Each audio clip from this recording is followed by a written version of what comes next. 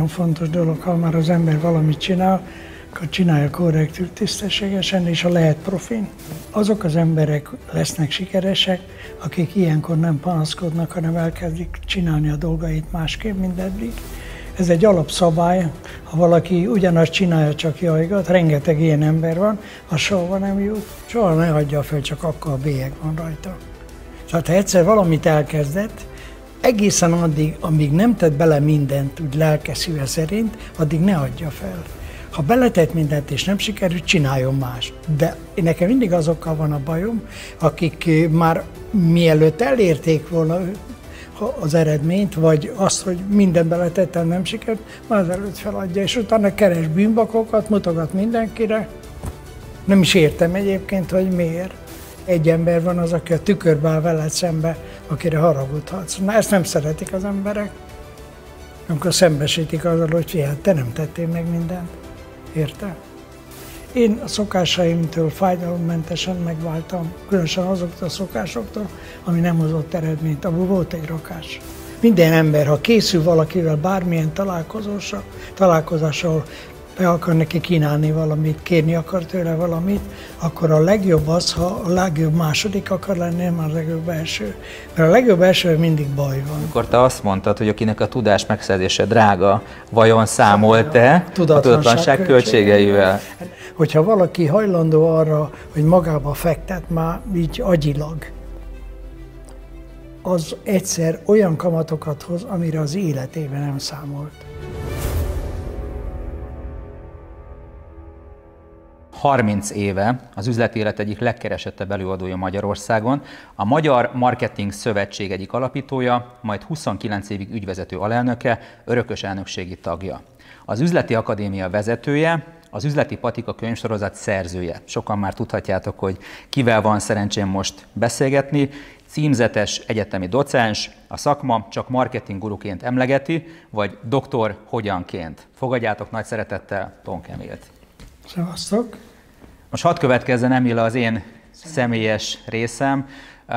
Egy vallomással kezdeném, ugyanis nagyon sokat beszélek róla a hátad mögött. És ezt a szemedbe akartam mondani, és kifejteném, hogy mit. Ugyanis lassan tíz éve, hogy az ismeretlenségből megkerestelek, és már akkor nyitott voltál, végtelen megtisztelő módon elfogadtad a meghívásomat. Ebédre szerettelek volna, de kávé lett belőle, és adtál nekem az idődből, a bölcsességedből, és azok az útravalók, amiket annak idején kaptam tőled, itt pont meséltem a, a stábnak, a kollégáknak, hogy a mai napig elkísérnek, és én nagyon-nagyon-nagyon sokat köszönhetek neked, és szeretném kifejezni a hálámat, hogy, hogy akkor is megtiszteltél, és hogy most is itt vagy velünk, úgyhogy köszönöm szépen. Figyelj, te azon tudsz hálás lenni, a sikeres vagy, kész, ennyi. Ez a legszebb hála, amit lehet kapni ezért. Köszönöm szépen. Akkor is nagyon tiszteltem benned azt az alázatot és munkaetikát, ahogyan hozzáálltál, és nem véletlen ez a 30 év, amivel kezdtem a felvezetésemet, akkor is azt mondtad, hogy ha tartósan akarsz az emberek fejében lenni, akkor csak korrekt módon érdemes hogy másképpen, és ezt is többek között neked is köszönhetem, hogy ezt, ezt erre törekszem a mindennapokban. Ez így is van, és ez egy nagyon fontos dolog, ha már az ember valamit csinál, akkor csinálja korrektül, tisztességesen, és ha lehet profin. Ennek a beszélgetés sorozatnak az a mottója, hogy teremtsd újra önmagad. A két irányból is szeretném, hogyha megközelítenénk veled ezt a témát. Az egyik az az üzleti élet vonatkozásában szeretném, hogyha adnál egy kis útravalót a nézőknek azzal kapcsolatosan, hogy hogyan lehet mindig megújulni. Ugye ez a most kialakult helyzet azért elég komoly leckéket biztosít sokunk számára, tehát hogy mi a te tanácsod ezzel kapcsolatosan. Illetve ami nagyon érdekelne, hogy a te személyes életedben eh, milyen olyan fordulópontok voltak, ahol, ha megtisztelsz minket, azzal is megosztod, ahol újra kellett teremteni saját magadat? De egy nagyon fontos, különösen most, amikor van ez a vírus miatt ez a válságnak tűnő helyzet, hogy azok az emberek lesznek sikeresek, akik ilyenkor nem panaszkodnak, hanem elkezdik csinálni a dolgait másképp, mint eddig. Ez egy alapszabály, ha valaki ugyanazt csinálja, csak jajgat, rengeteg ilyen ember van, az soha nem jut. És igen, ez egy kemény időszak, a kemény időszakban kemény munkára van szükség, egy kemény hozzáállásra, de ez az, ami, amit meghálál a környezet. Tehát az élet, de mégiscsak azoknak ad jót, akik a kemény időszakban kemény dolgokat jól csinálják, Azok, akik jajgatnak, sírnak, panaszkodnak, én kerülöm a panaszkodó embereket, akitől megkerül, hogy nyújság, és már elkezdi mondani, jaj, ne is kérdez, ott abba is hagyom a beszélgetést, mert nekem arra nincs szükségem. Ő azt mondja, hogy nehéz helyzet van, mit tudok tanácsolni, mit kéne másképp csinálni, akkor van miről beszélni. És nyilvánvalóan az én életemben is voltak ilyen kritikus pillanatok akkor, amikor amikor vagy rajtam állt, vagy rajtam kívül lok miatt nem úgy sikerültek a dolgok. Az egyik ilyen volt, amikor 80-as évek közepén Magyarországon volt egy vezérigazgató választás. Én voltam az egyik szereplője, mert az egyik jelöltje vezérigazgatóságra én voltam. Ez egy pályázat útján volt, ahol aztán utána egy vállalati tanács típusú testület választotta meg az új vezért. Én tudtam, hogy handicapes vagyok, mert én öt éve voltam ott a cégnél, az a társam, akivel versenyeztünk, az meg ott volt ma 28 éve, tehát én tisztában voltam azzal, hogy itt nagy csodának kell történni, hogy ezt a, a versenyt, nem be, de ezt a versenyt én nyerjem meg. Annál is inkább, hogy ez egy olyan helyzet volt, hogy a vállalati tanácstagok ból körülbelül 70%-a a versenytársamnak volt a, a kollégája hosszú évekig, volt, aki most is a beosztatja volt. Nekem olyan sok nem volt. Ennek ellenére 11-ből heten rám szavaztak. Tehát ez egy jó arány volt. Ami az érdekes, és az baromi tanulságos, és ez ugye az emberekről szól, hogy amikor vége volt ennek a választásnak, engem nem rendített meg annyi, annyi történt, amit számítottam, hogy jöttek be sorba a, a vállalati tanácstagok, hogy hát nagyon sajnálja, megmondja őszintén, ő rám szavazott. Mondtam, hogy hát köszönöm szépen, de hát ez van. Majd egyszer jött valaki, és azt mondja, hogy Emil, megmondom őszintén, nagyon sajnálom, hogy nem téged választottam, mert én te rád szavaztam, és mondtam, hogy valami gáz van, mert te vagy a nyolcadik, aki azt mondja, hogy rám szavazott. És akkor, akkor nyilván elgondolkodható volt nekem, hogy mennyire, mennyire nyílnak meg az emberek őszintén, mennyire képesek a saját sorsuk miatt alakítani a dolgaikat. Én nem rendültem ebbe bele, de az egy baromi tanulságos volt, hogy ne építsek mindig arra, amit szemből mondanak, arra sokkal jobb építeni, mint a háta mögött. Tehát ez egy kicsit megerősítés annak is, amit te mondtál, hogy az a jó, amikor az ember háta mögött mondanak jót róla, és nem amikor így szembe. Mert amikor szembe mondják, simán visszavonják az emberek, de amit háta mögött mond, azt nem annyira. És ez nekem nagyon, ez életem egy nagy tanulsága volt. És akkor rájöttem arra, hogy akkor is rajtam fog múlni, és akkor én eldöntöttem, hogy lehet, hogy én most nem lettem vezérigazgató, de be fogom bizonyítani, én akkor is tudok sikeres ember lenni. Többé-kevésbé az lettem, szóval. Ennyi. De megint azon múlik, hogy hajlandó voltam váltani, vagy nem. Hogy ragaszkodtam a szokásaimhoz, nem.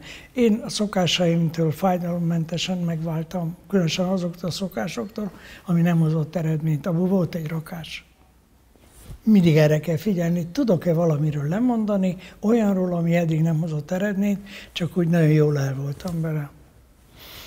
Ennyi. És hát nyilván az ember életében van egy csomó tanulságos dolog, a mai világ is egy kicsit tanulságos, hogy mit meg kell küzdeni azért, hogy versenyben tudjon az ember azokkal maradni, akik ezt a versenyt arra használják ki, hogy a másikat lebontják, vagy lebutítják, vagy ennyi, biztos te is hallottál, hogy hányan vannak, akik ilyen online marketingben okos dolgokat mondanak, tudással, de tapasztalat nélkül, és mennyire más az, amikor valaki tapasztalattal mondja. Én azt tapasztaltam, hogy az én tapasztalatom ugyanannyit ér online-ba, mint offline-ba, tehát nincs különbség a kettő között. Amit én nagyon szeretek, az az, hogy mindig az emberi oldal felől közelít. Sokszor mondtad, hogy ha valaki egy céget választ, az embert választja, és hogy ezzel szeretném, hogy egy kicsit foglalkoznánk, mert szerintem a, ha valaki tud jó útravalót adni a nehéz emberek kezelésére, vagy azokra, akik, most hogy az őszintétlenségről meséltél egy nagyon tanulságos példát, hogy a szemedben mit mondtak és mi volt a valóság, tehát hogy, hogy te hogy látod ezt a, ezt a negatív környezetnek a lehetséges kezelését, milyen gondolatokat osztanál meg velünk ennek kapcsán? Ugye a negatív környezet az egy körülmény, mi egy körülménnyel szemben nem tudunk mit csinálni, hiába próbáljuk megváltoztatni, az akkor is ilyen. A magyar ember egyébként is totál negatív. Én azt mondtam, hogy attól még, mert valaki negatív, vagy valakik negatívak, attól én meg tudom tartani a másfajta szemléletmódomat, és nekem az egyik nagyon fontos elvem, hogy feltételezek az emberekről jót, egészen addig, amíg nem bizonyítja be az ellenkezőjét. Tehát semmiben nem kerül másokról jót feltételezni, sőt, nagyon tanulságos, hogyha az emberek azt látják, hogy valaki róla jót feltételez, az megtesz mindent, hogy ezt a jót bebizonyítsa. Tehát akkor hagyni kell az embert bizonyíts be, hogy, te, hogy én jót gondoltam rólad. És ez is nehéz, hogy mi annak akkor, akkor megfelel, amit a környezet mond valakiről, nekünk nem az a dolgunk nem a környezetnek kell megfelelni, saját magunknak, hogy mi hogy képzeljük a dolgokat, hogy mit feltételezünk az emberekről. És én nekem az egyik legszimpatikusabb mindenkinek, aki azt mondja, hogy jót feltételezünk a másikról, aztán hagyom, hogy bizonyítsa be, de egyébként nézd meg az emberek ilyenek. Ha én neked azt mondom, hogy örülök, hogy találkoztunk, mert egy megbízható, pontos ember vagy, hát mit fogsz csinálni? Hát tudja, hogy mindent megtesz, hogy ezt megerősíts és meg, meg bizonyíts nekem, hogy ez így van. Hagyni kell az embereket, és csak ahhoz az kell, hogy tanuljunk meg egy picit másokról jót feltételezni, és jót is mondani. Tehát ez a neheze, hogy mi azt éljük a világban, hogy, hogy ha elkezd két ember beszélgetni egy harmadikról, tudja, hogy annak annyi hibája van, mint a franc. Nem értem, hogy miért nem lehet a távol lévőről legalább egy jó mondatot mondani. Mi történne akkor, ha valakiről jót feltételeznék, sőt, a jót el is mondanánk neki? Egyébként a legnagyobb bravúr, amikor valaki emberekről jót feltételez, és ezt a háta mögött mondja el másoknak, és ezt valaki meghallja. Ha valaki meghallja, hogy mondjuk te valakiről jót feltételeztél, ő alig várja, hogy találkozatok, és mindent elkövet azért, hogy neked bebizonyítsa, hogy te tényleg jól látod a dolgokat. Lehet egyébként a jóságra tanítani az embereket. Nem vagyunk sokan ebbe, akik a környezetről jót feltételeznek és jót mondanak. Én nem szoktam soha rosszat mondani, és engem maximum nem szólok egy szót sem. Ennyi. Ez is egy vélemény egyébként.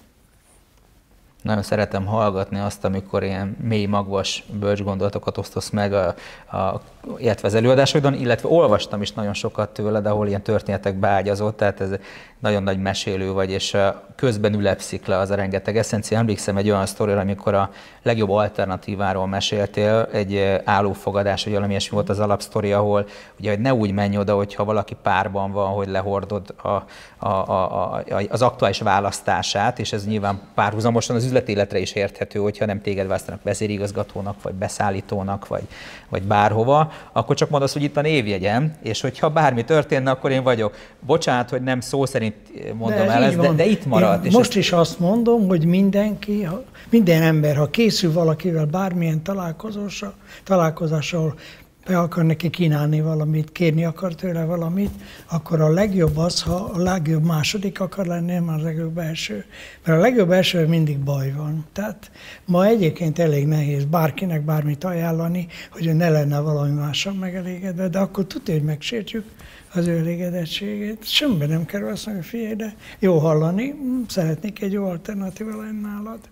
Ez a legzseniálisabb módszer, hogy hogy lehet olyanokkal is jó kapcsolatokat építeni, aki egyébként azt mondja, hogy én meg vagyok elégedve mással. Ez nagyon fontos, például így az ember a versenytársról se mondjon semmit. Minek? Hát mit érek én azzal, az egyik versenytársamat leszidom? Semmit. Sőt, lehet, hogy valaki még pipább lesz, és azt mondja, hogy hát kár volt velem beszélgetni, mert csak őt sértegetem, mert ő mást választott. Ez is igazából a gondolkodásmódon kell egy kis kulfil lenni. Ha valaki nem tud egy picit másképp gondolkodni, meglepő módon gondolkodni, akkor ezzel mindig gond van. van erre egy aranyos történet, megint ugye ezek mindig tanulságosak. Volt nekem egy kollégám, aki 30 valány éve elváltunk, mert nem, nem dolgoztam ott, ő is onnan, és azt hallottam, hogy ő állandóan mindig valami miatt irigykedik rám. És nem, nem reagáltam rá semmit, és egyszer az egyik valami, valami néprajzi múzeumban volt egy fogadás, és ő jött le a lépcsőn, és mondom neki, te figyelj, de jó, hogy látlak, már régen szerettem volna neked valamit megköszönni.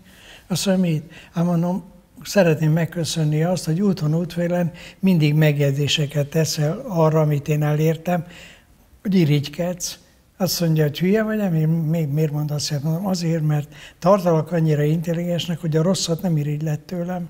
Tehát valószínű, hogy valami jót irigyelsz. Köszépen legalább megmutatod nekem az irányt. Ez is érdekes, az emberek nem így gondolkodnak az irigyekről, meg tudnák folytani őket. Minek?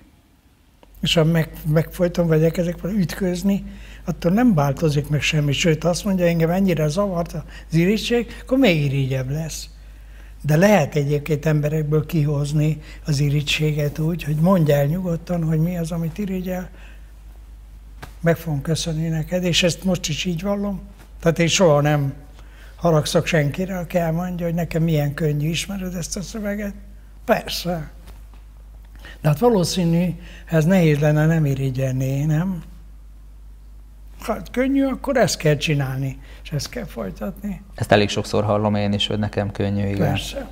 És e, ezek azok a apró fogások, amiben tudja, hogy jobb eredményt lehet elérni, mint hogyha valaki nyomul, erőszakoskodik, mert csomó minden. Sem értelme, semmi értelme nincs.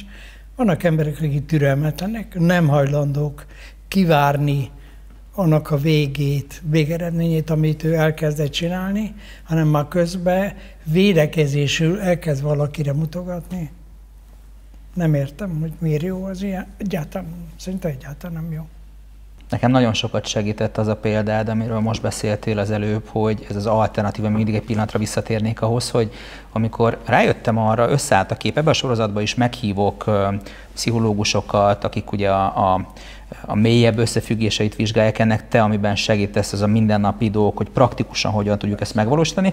És az, amikor az alternatíva kapcsán most mesélted azt, hogy valójában, amikor a, a, az aktuális döntését, a párját, a partnerét, a céges partnerét, bármit te minősíted, akkor ennek a mély összefüggés a háttérben az az, hogy azt jelenti, hogy őt minősíti, ez a véleményed, és hogy az ő döntését, mikor kritizálod, akkor az ő személyét kritizálod, Persze, és innentől kezdve esélyed Mit várunk nem attól, lesz. akit elkezdtünk sértegetni azzal, hogy milyen az ő igényessége, egy csomó minden. Nem is értem én, amikor középiskolában hát rengeteg csaj volt ott a körülöttem, és mindig oda ment, hogy jöjjön velem moziba ide-oda, és azt mondta, hogy ő neki van egy barátja. És akkor érdekes volt, hogy amikor elkezdtem a barátját dicsérni, és azt mondta, hogy biztos, hogy jól választotta, egy nagyon szimpatikus ember, látszott, hogy nála valami megfordul. És mondtam neki, hogy nem tudom, nem is akarom ezt megváltoztatni, tudjál róla bármikor lehet rám számítani. Nekem középiskolában annyi, annyi barátnőm, ismerősöm volt, akivel jöttem, mentem, mindig volt elfoglaltság, mindig.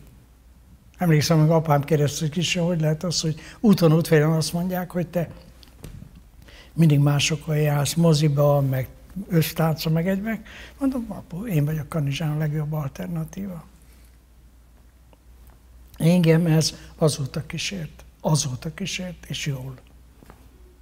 A kritikával kapcsolatban neked megletesod, hogy amikor, amikor most ugye beszéltünk arról, hogy hátad mögött mit mondanak, én azt gondolom, hogy a kritikának van egy destruktív, meg van egy konstruktív verziója. Tehát nem akarom leseperni a kritika jelenségét az asztalról, de melyik esetben mit javasolsz? Tehát, hogyha feléd jön egy kritika, és azt érzed, hogy konstruktív vagy destruktív, akkor te mit javasolsz, hogy érdemes ezt kezelni? Én azt hiszem, hogy azok az emberek, akik nekem mondják el a kritikáit dolgaimról, azok sokkal tisztességesebbek, amikor nekem nem mondanak semmit, vagy elkezdenek smúzolni, és közben a háttérben mást mondanak. Nekem mindig azok az igazi barátaim, üzleti partnereim, akik elmondják, hogy ő szerintük mit kellett volna más csinálni. Más az, amikor valaki a személyemet kritizálja, mert ezért ennek nem örülök, Más az, amikor azt kritizálja, amit csináltam. És erre kell nagyon figyelni, és soha ne a szemét kritizáljuk, hanem, hanem inkább a cselekedeteit. Egyébként, ha, ha nem lenne kritika, nem lenne más vélemény, akkor mi soha nem fejlődnénk. Tehát mondtam, ha valakinek van egy barátnő, és elmondja, hogy te jó lenne, ha csináltatni egy új fizurát, van, aki kiakad, más meg végig gondolja, azt mondja, valószínű, ha új fizurát csinálok, akkor, akkor, akkor nem mond majd ilyet legközelebb. Tehát érdemes végig gondolni a kritikát, hogy ez most személyre szól, vagy nem, mert akkor nyilván szét kell osztályozni és milyen az, amelyik segíti az embert az előre lépésbe. Nekem volt egy mentorom, aki általában tök aranyosan mindig kritizálta, amit csináltam. Aztán rá, halálpipa voltam rá, aztán rájöttem arra, hogy tulajdonképpen tök ha nem hallgatnám meg őt, soha nem tudnék más csinálni. Mert mindig ugyanazt csinálnám, csak jajgatnák, hogy miért nem lett új eredmény. Ő meg segít abban, hogy elmondja, hogy ő szerinte mit kéne másképp csinálni. Ezt is lehet intelligensen csinálni. Tehát kritizálni embereket, Figyelj, én a helyedben azért ezt végig gondolnám, én a helyedben ezt másképp csinálom, meg lehet azt mondani, hogy te egy hülye barom vagy. Na most ebből is kap, nyilván én nem, de azért rengeteg ember kap rendesen ezekből az ilyen kritikákból, amelyikre nem adnak megoldást, mert a kritika az akkor egy valamit, elmondja, hogy ő szerintem mit kéne másképp csinálni.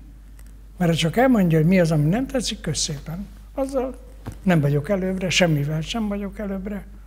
És én is úgy vagyok, hogy amikor a lányaimat kritizáltam, mindig elmondtam, hogy én mit csinálnék helyette. Mert azzal, hogy elmondom, hogy, hogy nézek ki, vagy semmit nem jelent. Bár megmondom őszintén, a nőkben van egy teljesen különleges tulajdonság, hogy amikor az ember elmondja a kritikáját, ebben benne van a pozitív kritika is, hogy milyen jó a fizurát. Az első az, hogy mindjárt azt mondja, hát pedig nem is sikerült annyira. És mondom neki, te most, hogy mondod, tényleg igaz. Tehát abban a pillanatban megváltozik, de lehet kritizálni embereket, és néha kell is. És ha te és én is olyan ember vagyok, hogy a kritikájára figyelnek, elfogadják, akkor, akkor ő általam lett jó ember, én meg általa jó készennyé. És ezt kell ügyesen és jól csinálni. Az nem igaz, hogy emberek mindenben egyetértenek a másikkal, az egyikre nincs szükség. Tehát az a jó, ha valakinek más a véleménye. Nem kell megfojtani ezért.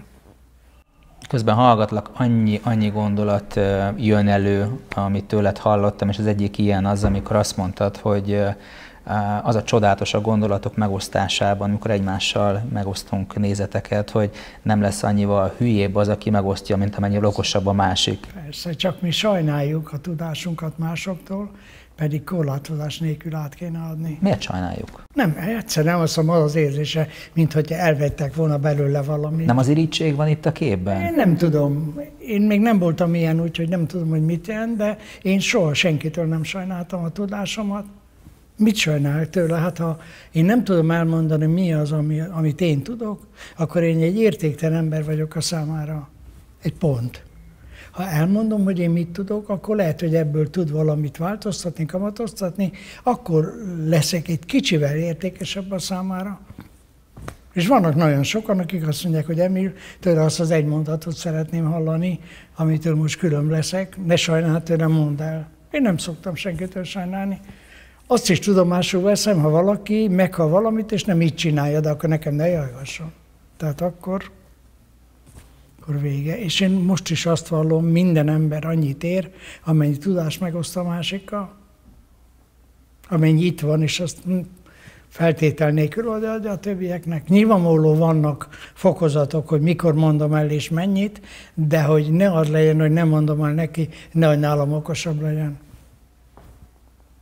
végig gondoltam, hogyha én nagyon sok fiatalal találkozok, ha én a fiataloknak nem adnám át a tudásomat, mit számít, mire számítok a nyugdíjas koromban? Hmm, kire számíthatok, ha ők mindegyik ilyen buta, ostoba ember lenne? Hát akkor jó, hogyha ők okosabbak lesznek nálam, és akkor lesz nekem nyugodtabb idős korom, kész ennyi. Ez is érdekes, hogy sok én nem így gondolkodnak.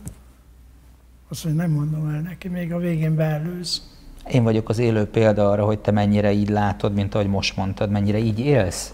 Mert uh, amit említettem, az ominózus beszélgetés, ami közel tíz éve történt, nekem a mai napig itt vannak uh, azok a gondolatok, amik, uh, amik irányt mutattak akkor, mikor kezdőként terveztem bontogatni a szárnyaimat, hogy merre induljak el, és az, az minden szava aranyat ért, úgyhogy még egyszer tényleg csak köszönni tudom, mert, mert az akkor nagyon sokat adott, és egyébként ennek kapcsán most pont az fogalmazódott meg bennem, hogy bár a koncepció itt ez a teremtsd újra önmagad, hogyha valaki most úgy érzi, hogy ugye mondtad, hogy sokat beszélsz, tartasz előadást fiataloknak is, hogy a következő generációnak útra valóul, mi az, amit mondanál így egy, egy, egy pár pontba, gondolatba, mint ahogy annó nekem azt mondtad, hogy figyelj, ezekre érdemes odafigyelned. Az egyik, ez nagyon ez egy érdekes, én kedvelem ezt a motót nagyon, hogy soha ne hagyja fel, csak akkor a bélyeg van rajta. Tehát ha egyszer valamit elkezdett, egészen addig, amíg nem tett bele mindent, úgy lelke szíve szerint, addig ne adja fel.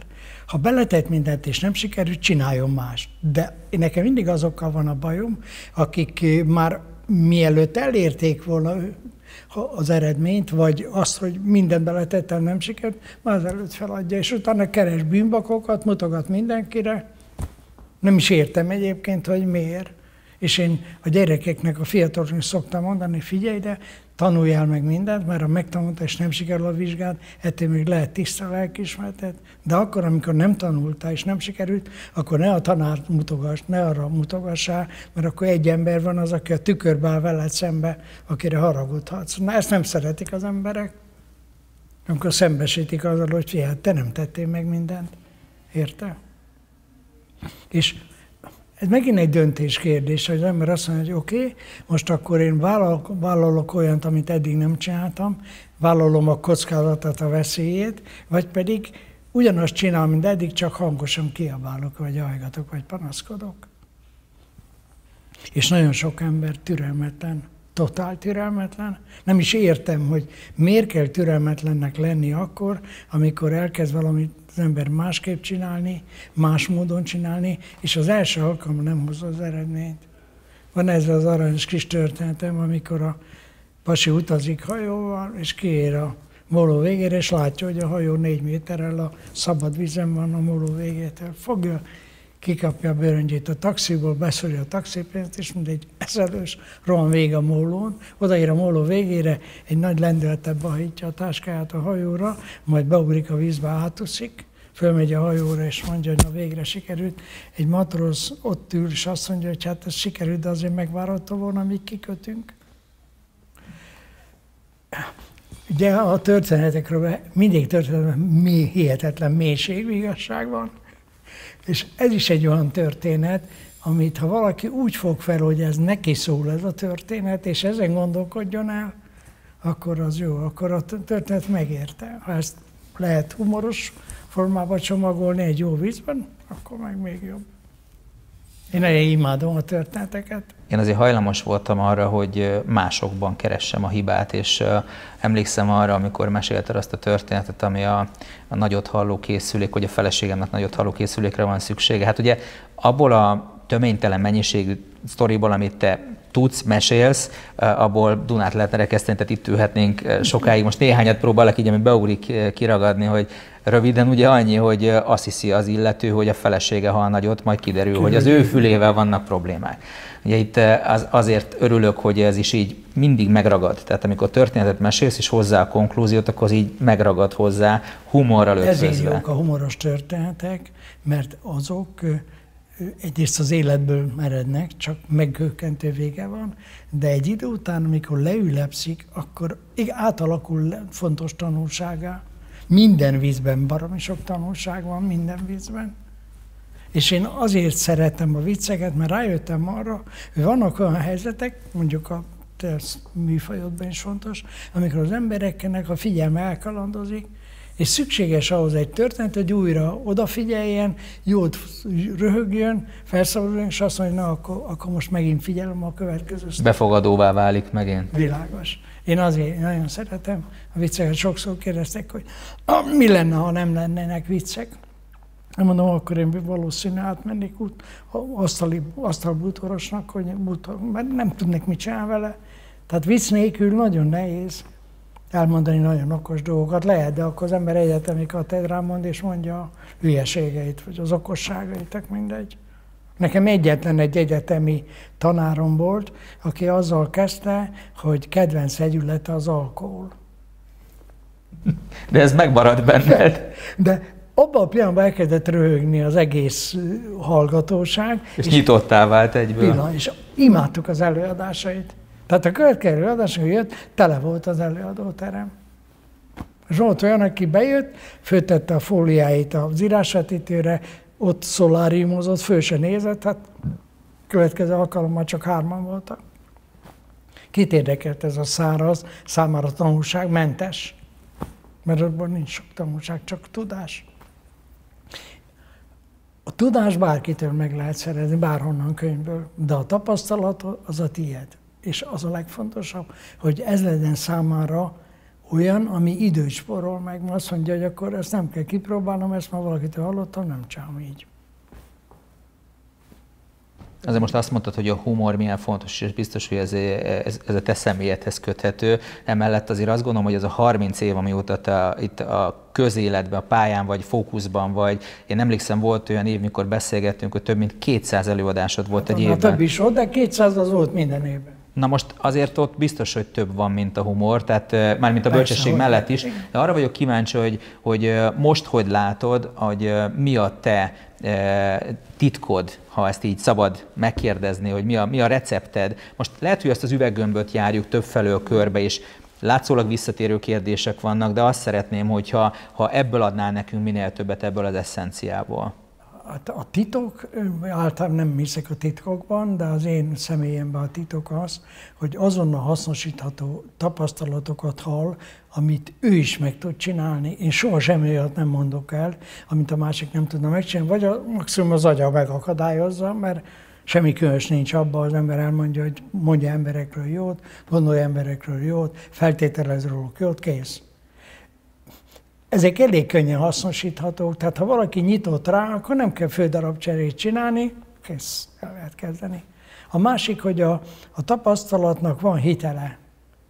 Tehát te is tudod nagyon jól, hogy az előadásaid, meg az enyém is, akkor érnek valamit, a tapasztalatokra épülnek kész. Mert egyébként tankönyv.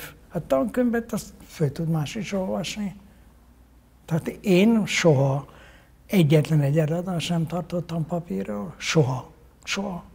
Az itt van. De összerendeződik akkor, amikor az a témára kerül a sor. Épp holnap készülök egy céghez, egy előadás, és kérdezték hogy mi lesz a téma. Hát az lesz a téma, hogy majd kiválasztátok, hogy azban az egy órában, amíg ott vagyok, miről akartok hallani. Tényleg, mondom, képzeld el, nagy baj lenne, ha csak azt tudnám elmondani, hogy én készültem, mert akkor eltűnik a jegyzetem, akkor meghalt az egész. Soha egyszer egy cégnél voltam, és a cég vezetője mondja nekem, hogy Emil, van egy kis gond, ő, most eljöttek külföldről is a munkatársaink, és nekik nem a beszerzési tárgyalásokról kellene, hanem arról kéne, hogy hogyan kezdjük a kifogásokat.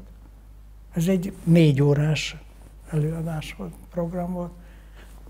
Mondtam neki, jó, semmi akadály, azt mondja, jó, akkor ő is elmegy, főkészület bejön.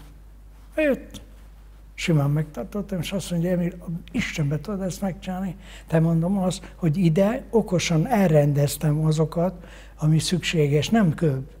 És az a jó, amikor az ember feje olyan, mint egy könyvtár, és a, mint amikor megy a, a lemezkeresőt oda a gépbe, és akkor megtalálja ezt a lemez, kiemeli, én is ugyanígy kiemelem, és tudom pontosan, hogy mitkor, mikor, mit kell elmondani, mi az a blitz, mi az a történet, ennyi.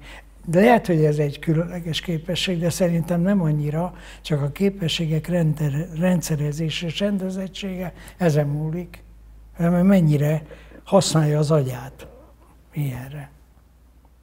És én más helyet használom az agyamat, tehát én megkímélem őket ott, hogy beteg, törjék a fejüket. Elmondtam neki, kíváncsi rá, nem, akkor semmi gond. De én egy embernek is elmondom. Tehát én úgy vagyok vele, ha egy ember hallgatok, egy embernek mondom el. Ha ezre, akkor ezernek. Nem úgy van, hogy leosztódik, és akkor egy ezer jut mindenkire. Hát akkor mindenkinek ugyanaz van. Ez is egyébként ennek a szakmának a, a specialitása, hogy ne sajnált senkitől. Ha ketten vannak, akkor se, mert abban legalább olyan hatékony tud lenni, mint ha ezernek mondod, mert az ezer az nem biztos, hogy jobban fogok figyelni azért, mert sokan vagytok ott. Lehet, hogy csak egy töredéke jegyzi meg. A hatékonysága akkor is megvan. Ezért kellett sok előadást tartanom, sőt volt úgy, hogy egy céghez elmentem többször, mert lehet, hogy az elején nem értették meg, vagy nem figyeltek oda, ennyi. De én nem zavar. Soha nem zavar, amikor valaki azt mondja, hogy te ezt elmondanád még egyszer, mert miért nem? És nem kell őkotorni a jegyzeteim, semmit nem kell őkotorni. Ez egy tök jó dolog egyébként, minden ember a igazi kincset azt a két füle közé gyűrje be. Ide gyűrje be. Ide be van gyűrve, ott nagy gond, mert azt nem tudják elvenni, csak egy agyműtéttel. Hogy tudnák elvenni? Sehogy senki. Most erről az jut eszembe, hogy Warren Buffett, ugye, aki a világ egyik leggazdagabb ember, amikor megkérdezték tőle, hogy ha lenne 100 dollár, akkor mire költeni? és ő azt mondja, hogy kizárólag saját magamra, képzésemre, Tudásunk. fejlődésemre, sőt, azt mondta, hogy arra költeném a 100 dolláromat, amivel az a képességem volt, amivel megkerestem azt a 100 dolláromat, hogy még tovább fejleszem. És erről eszembe jut a Camille verzió, amikor te azt mondtad, hogy akinek a tudás megszerzése drága, vajon számolt-e a tudatlanság költségeivel? Ennek Zseniális. volt egy nagyon rövid változata, ez Veszprémben az eltemen volt, hogy aki tanul, az hülye, aki nem, az az is marad. És ez tényleg így van. Ma hihetetlen igaz, hogyha valaki hajlandó arra, hogy magába fektet már így agyilag, az egyszer olyan kamatokat hoz, amire az életében nem számolt. És ha én most kiszámolnám, hogy az, amit összegyűjtöttem, tapasztalatot, tudást, hogy az micsoda kamatokat hozott, hát nem tudok ilyen céget, olyan terméket, ami ezt a hozadékot tudja. Ezért mondtam mindenkinek, ha olyan tudással rendelkezik, ami másoknak fontos, akkor ezzel foglalkozol, és ne azzal, hogy tudja másoktól bármit elszerezni. Mert ez az egyetlen olyan vagyonunk. Az egyetlen olyan vagyonunk. És én, nekem most is, nekem nagyon sok konzultáció van mostanában. Hát bárki leülök, és azt mondja, hogy nem zavar, hogyha most elmondom, hogy itt útközben milyen kérdéseket tettem, ha nem. Hát miért zavarna?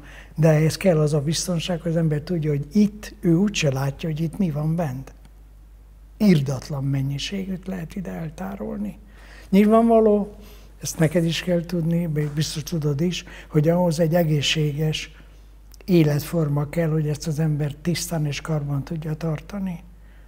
Lehet berúgni minden nap kétszer-háromszor, meg lehet egy csomó minden zagyva életet élni, ez nem fogja segíteni a, tudás tisztántartását, de egyébként a többi az igen. És ha, ha valaki rájön arra, hogy az ő tudása az most is tisztán megjelenik, tisztán, mert nem kell neki leámozni, meg kiagyalni, hogy mi van benne a lényeg, akkor ez egy jó dolog. Én rajtam még soha az életben nem látta senki, hogy fáradt vagyok. Soha. Pedig volt úgy, hogy reggel éjjel kettőkor indultam el, reggel ötre értem Pestre, és reggel kilenckor, reggel kilenckor már folytattam egy tréninget, és senki nem látta rajtam, senki. Nem is tartozik rá. Csak az, az kell az ember ezt tartja karban, mert ez majd segít neki, hogy újra erőt gyűjtsön. Nekem az egyik leginkább olyan terület, ahol sokat segítettek a gondolataid, az, a, az az emberi kapcsolatok. Ennek nagy mestere vagy, és én tudom azt, hogy, hogy, hogy a, a konfliktus kezelés is ennek, akár cégen belül, akár párkapcsolatban, akár szülő-gyermek kapcsolatban, ez nagyon-nagyon gyakori, hogy ott, amikor van az az időszak, amikor úgy lehúzzák a rolót, ugye az emberek, hát elönti az agyukat az a bizonyos valami, és kígyót békát kiabálnak egymásra. Tehát egy ilyen szélsőséges helyzetet kiragadva, te hogy javaslod, hogyha egy, valaki e, ki akar lépni ebből, vagy jobban ki akar lépni ebből, mert nyilván mind a kettő szeretné megoldani, hogyan tudja ezeket a konfliktusokat kezelni? Hát az egyik lehet növelni a konfliktust, mert vitatkoznunk vita helyett, mert más a vita, meg más a vitatkozás, és ha vitázok, és ennek nincs eredménye, akkor fölállhatok, elmehetek, de nem sértettem meg a másikat. Ha vitatkozással próbálok meg eredményt elérni, annak olyan kevés esélye nincs. Tehát, sőt azt kell mondani, nulla esélye van, és rengetegen vannak, akik üzleti életben, baráti kapcsolatban kiélezik a vitát, vitatkozássá, és azt hiszik, hogy győzött. Senki nem győzött ebbe. A másik, hogy vannak olyan helyzetek, amikor el kell fogadni, hogy másiknak más a véleménye dolgokról. Ez a tisztesség egyik fontos jele, hogy minél lehetne neki más a véleménye, maximum hallgassam meg, és ha nekem más a véleménye, akkor ne az ő véleményét támadjam, mondjam el az enyémét. Nagyon jó példa erre a mai élet, amikor televízióban vannak különböző párcsoportosulások képviselői ott, összeütköztetik egymást. Nem is értem egyébként, hogy az egyik arra figyel, hogy hogy tud a másikba belekötni. Ma az első pillanatok kezdve nem arra figyel, hogy mi az, amire lehet építeni, mi az, amiben nincs köztünk nézetkülönbség, ma akkor arra lehet építeni a további vitát, már mondom, hogy igen, de ebben nekem más a véleményem, nem. Hülyeség, baromság. És ez a típusú emberi kapcsolat, ez a halála halála mindennek. Szerintem, ha két ember között vannak viták, miért ne lehetne? Azok, ha jók, akkor mindig előre visznek dolgokat. Ha vitatkozássá alakul át, és egymás fejéhez vágnak mindent, abból semmi nem lesz. Az csak sérül minden. Újra kell építeni, ott már nagyon nehéz újraépíteni dolgokat. És hát nekem volt számtalan ilyen, amikor tapasztaltam, hogy itt emberek egyszerűen képtelenek egymásról jót mondani még jót gondolni is. Pedig a gondolat szabad. Tehát ha elmondom, hogy figyelj, de ennek ellenére kedvellek, nem haragszom rád, örülök, hogy ismerlek, megismertek bármit, ettől még lehet, hogy van köztünk nézetkülönbség dolgokban. Egyébként figyeld meg, az életet mindig a nézetkülönbség viszik előre. Nem a személyek közötti konfrontáció, hanem a nézetkülönbségek. Ő másképp látja, én is másképp látom, lehet kompromisszumot találni, lehet cserélni eszméket egymással. Ez is egy érdekes, hogy, hogy nem teljesen érthetetlen, hogy emberek ezt tanítják a, a nagy tömegnek, hogy mondja másiknak ellent. Hogy ebben mi a jó? Remélem, itt látszik ez az egész magyar politikai berendezkedés is, hogy itt, itt ebből soha nem lesz béke, mert talán egy ember van ez a Fűries Balázs, aki, aki baromi ügyesen kezeli a konfliktus, iszonyatosan jó kezeli, példamutatóan jó kezeli, tehát, hogy soha nem minősít senkit, nem vág a másikba bicskát, semmi, hanem keresi azt a témát, amivel tudunk találni valami közös megoldást. Ez a lényeg. Ezt kéne az emberi kapcsolatokba is átvinni. Nekem múltkor volt egy kamasz tréningem, ilyen 15 és 18-20 év közötti gyerekek között, és mondtam nekik egyre figyeljetek, nem az a lényeg, hogy minél több nézetkülönbség legyen a többiek között, hanem az a lényeg, hogy tudják ezeket a nézetkülönbségeket egyeztetni. Ennyi. Ha tudtuk egyeztetni, előbbre léptek, ha nem, akkor hátrébb.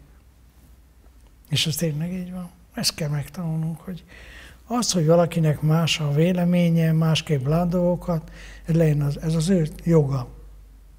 Nekünk nincs jogunk az, hogy azt mondjuk, ez egy baromság. Milyen alapon? Mi nem vagyunk arra felhatalmazva, hogy a másodnak véleményét minősítsük.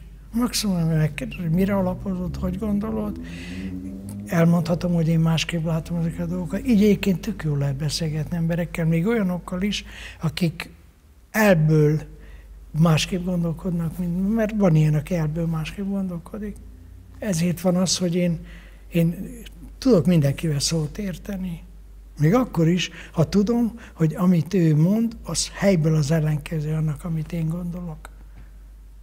De nem azt mondom neki, hogy te, te ikerve vagy, hogy egyedül ilyen hülye, mert meg kell tőle félni. Mire lapozod azt? Kíváncsi teszel, elmondanád, hogy hogy benne ez a vélemény, és szívesen beszélgetek veled erről. Ennyi. Ezt lenne jó megtudni, mert akkor sokkal kevesebb vacsarkodás lenne a világban.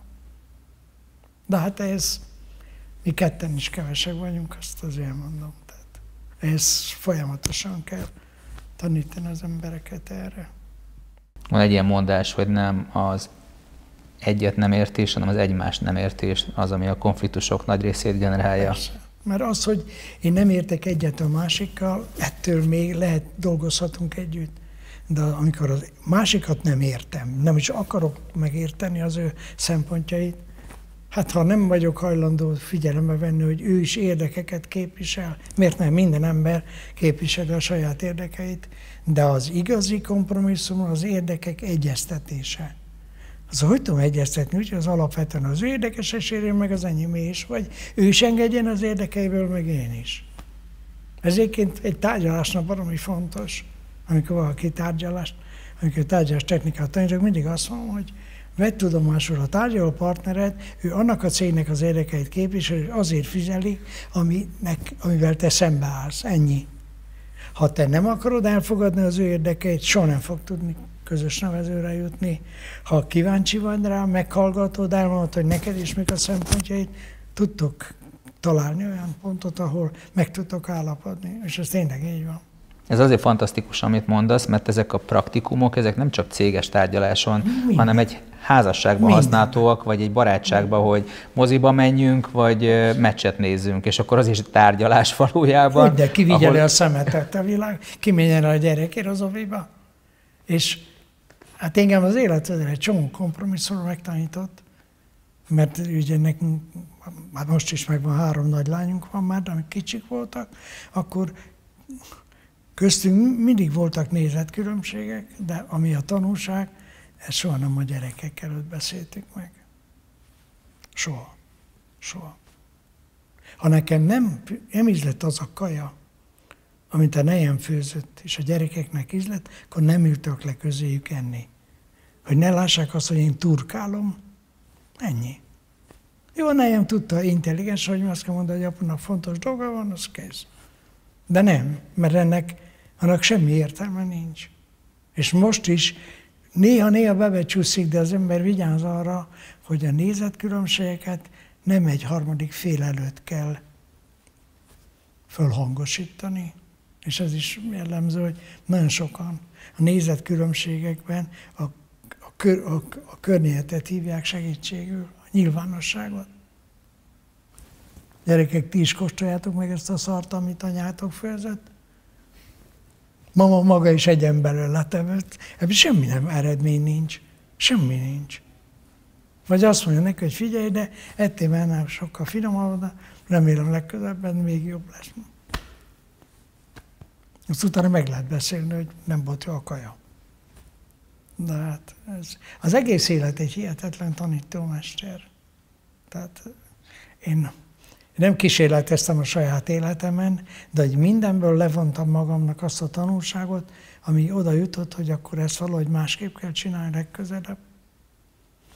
Volt egy olyan időszak az életemben, amikor minden nap a tárgyalásom után leültem, és fölírtam, hogy mi az, amit legközelebb másképp csinálnék, mi az, amit elrontottam, mi az, amit ő jobban csinált, mint én. Nem lettem frusztrált, nem lettem öngyilkos, azt mondom, hogy oké, okay, ez javít rajtam. Talán ezért is van az, hogy idő múlva nem tudott olyan mondani, olyan meglepetés érni, amit olyan padlót fogtam. Semmi. Mert tudtam, hogy ebből tanultam. És a legjobb az, amikor a semmer a saját tapasztalatáról tanul. Ennél jobb tanácsadó, mint a saját tapasztalatunk. Tanuljük le, nézzük meg, hogy mi az, amit rosszul csináltunk, mi az, amit legközelebb másképp kéne. Nekem most az eddigi beszélgetésünk során az egymillió dolláros mondat vagy kérdés az az volt, amit az előbb mondtál, hogy azt már többször hallottam tőled is, illetve alkalmazom már jó pár év az életemben, hogy mi az, amit csinálhattam volna jobban, ebből tanulva mit fogok legközelebb. De az, amikor arra vetítetted most rá, hogy mondjuk egy adott szituációban mi az, amit ő jobban csinált, mint én, ez egy fantasztikus kérdés. Mert ugye az ember akkor, amikor csalódott, akkor sokszor hajlamos arra, hogy gyorsan azt keresi, hogy mi rossz benne, mert attól érzi magát egy kicsit átmenetileg jobban. Hát, hogy azt De ez egy nagyon érett. Külön, jó. Egyébként a, Most lesz nekem a versenytársakról egy online tréningem, és ott is azt mondom, hogy az, aki a versenytársakban az ellenséget látja, az a saját vesztét építi fel. Ha az ellenségben, a versenytársban azt látja, hogy mitől külön, akkor az megmutatja nekünk, hogy mit kell nekünk különből is jobban csinálni. És nem kell haragudni rájuk, sőt, sőt, attól lesz az ember jobb, ha jobb versenytársai vannak, de ha szídom, mint a bokrot, csak nem értem az ilyen embereket. Még ha meg tudja, hogy és akkor már szídja össze-vissza. Mit, nem tudom, mit akar elérni, hát semmit nem fog elérni. Egyébként az életben nagyon sok olyan van, amit az üzlet életből lehet átvinni, és rengeteg olyan van, amit a magánéletből lehet az üzlet életbe átvinni. Rengeteg, rengeteg. Én annak örülök, és azért vagyok hálás, hogy egy olyan társam volt, meg van is, akivel komolyabb viták nélkül leéltünk majdnem 50 évet. Komolyabb viták nélkül. Tehát nem volt az, hogy most én most akkor nem jövök haza három napig, meg semmi. Hát volt konfliktus, de hát minden hát a konfliktus vissza előre, ha valakiért intelligensen kezeli. Azt nekem senki nem mondja, hogy ő neki a barátai között, a, a szerelme, meg, a barátnők között soha nem volt konfliktus. Nem szégyen. Az, hogy hogy oldjuk meg, az már igen. Az már kemény dolog, és tényleg lehet tök intelligensen elrendezni nézetkülönbségeket, meg lehet úgy is, hogy nagyon sok ember csinálja, hogy fröcsög orrán szám mondja a magáét. Múltkor találkoztam valakivel, és kérdeztem, hogy mi újság veletek. Hát azt mondja, hogy a, a nejem az tiszta hülye lett. Tehát mondom, ez tök jó, és most akkor mit akarsz ezzel elérni? Szerinted nálam hülyébb lesz az én, azt mondod? Hát nálam nem lesz ő hülyébb. Hát miért mondod, fia, van furcsán viselkedik, bizony, bizonyára megszokom, ha nem, akkor tisztességesen el fog majd válni egymásról, ez kész. Nem törvényszerű, hogy az elején egy naív hozott döntést azt kell végig felvállalni. Valamit azért a vitákról, az emberek közötti vitákról, egyszer hallottam egy tüneményes történetet, egy házas pár összeveszett, és a, nem akarok senkit meg, de a férj oda megy a ez egy pár perc múlva, azt mondja, fiam, most jól összevesztünk mi. Azt mondja, igen. És valószínűleg egy pár nap múlva ki fogunk békülni. Azt hát igen. És mi lenne, most mindjárt kibékülnénk? Hogy elmaradjon ez a vihar, ami itt Az van. a pár nap. És azt mondta a felesége, tudom, hogy igazad van. Akkor rengeteget gondolkodtam ezen, hogy mennyire másképp lehet reagálni embereknek a vita alapra, és mennyire lehet másképp, hogy az ember még ezt utána főpakolom, még hangosabbá teszem az egészet, és utána két megsérült lélek gondolkodásmód akar jóba lenni egymással. Most Marcus Aurelius jutott eszembe, aki azt mondta, hogy sokkal súlyosabbak arra a következményei, mint okai. Ez hogy hányszor van, hogy olyan apróságokon lesz belőle elefánt egy pillanat alatt, és soha többet nem beszélek vele. Ezt érdemes gondolni, hogy, hogy ezért érdemes vitatkozni. Hát mi lenne a kibékülnek? Hát egy apró piti dolog, majd az megoldódik, az kész. Ez sokszor így van. Te, aki ennyi embernek segítesz a jó tanácsaiddal, mi az a legjobb tanács, amit életedben kaptál? Tom Kemil, mi az a legjobb tanács, amit kapott életében? Hát én is hallottam nagyon sok tanácsot. Az egyik, és nagyon jó tanácsot, ezt a mentoromtól hallottam, hogy Emil, mindig azokra a véleményekre figyelj jól, ami, ami nem tetszik. Mert az, ami tetszik, az téged oda juttatott, ahol most tartasz. Ha olyant hallasz, ami nem tetszik, nem kell rá reagálni, nem kell megsértődni érte, de gondolkodj el rajt, vagy tárold el, lehet, hogy egyszer ez fog neked segíteni, és van egy aranyos történet vele kapcsolatban, ő, nekem évek óta volt a mentorom, sajnos már nem él. 83-ban, amikor, amikor mondta nekem, hogy mit kéne másképp csinálni, akkor azt mondom, hogy hogy hagyjál már a francba, mit kell engem állandóan szexuálni a tanácsaiddal, nem gyötörj engem ezzel, én tudom nagyon jó, mit akarok, és azt kérdezte tőle, hogy mondom, én is meg vagy elégedve az eredményeiddel? Mondom, azzal nem. Szóval, de látom magaddal nagyon. Így teljesen reménytelen a dolog. Arra kérlek, hogy mostantól kezdve azt jegyeznek, húzd alá az agyadba kétszer pirossal, ami nem tetszik. Nem örültem ennek a tanácsnak, de mondtam, hogy jó, hát majd csinálok vele valamit. És akkor azt mondta, hogy Emil, akkor elmondom neked egy tanulságos történetet az életedbe, hát az sokat segít. És a történet a következő, ezt többször elmondtam már nyilvánosság előtt, amikor a cápapa tanítja a fiát arra, hogy lehet a tengerbe táplálékhoz jutni, és mondja, hogy fiam, lemész a tenger fenekére, egy csomó jó kaja van, kagylók, rákok, csigák, mosszatok, kis halacskák, a cápa társad nagy része oda jár kajálni, de az igazi fiamkaja, az a tengerpart közelében van a fürdőzők között.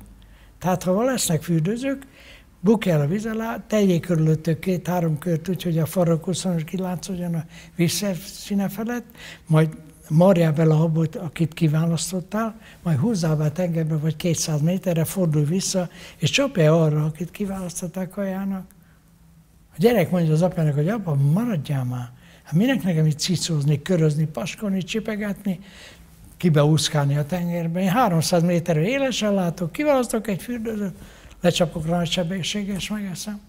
Lapai csóválja a fejét, azt a fiam, ha ezt az útját választod a kajaszerzésnek, akkor valószínű, hogy a szarral együtt fogod megenni őket.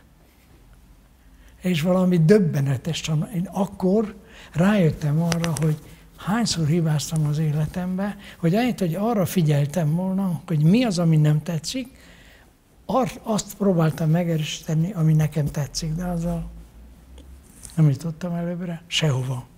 Hát amit eddig csináltam, és nem hozott eredményt, még gondolom, hogy nagyon csinálok az eredményt, semmit. Megtanultam váltani. Megtanultam azt, hogy igen, néha a másik véleményében is vannak tartalmas, okos dolgok. Ezt te is megtanultad már, én is megtanultam. Nem szégyen, ha másokat meghallgatunk, és a mások véleményére építünk. Abszolút nem szégyen, sőt, az emberi nagyság egyik megjelentése. Azt, azt így csináljuk.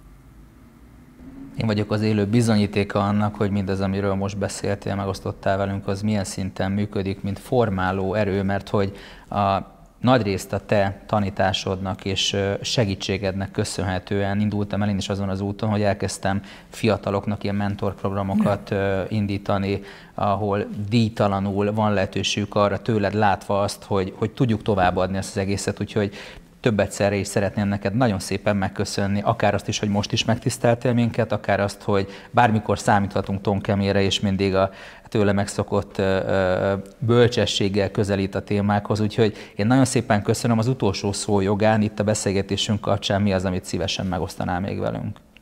Hát annyit, hogyha valaki valamit csinál, az kétféle, egyféleképpen érdemes csinálni profin, mert az amatőr munka ugyanannyi időt vesz el, csak más a végeredménye.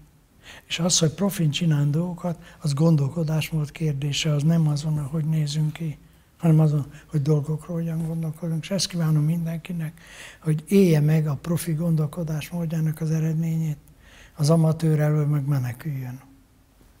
Meneküljön. Így leszünk különbek egy csomó embernél, mert ugyanarról profiban tudunk gondolkodni. Nagyon szépen Hajrá. köszönjük, Emil. Várunk vissza máskor is. Köszönjük szépen. Lehetek jók.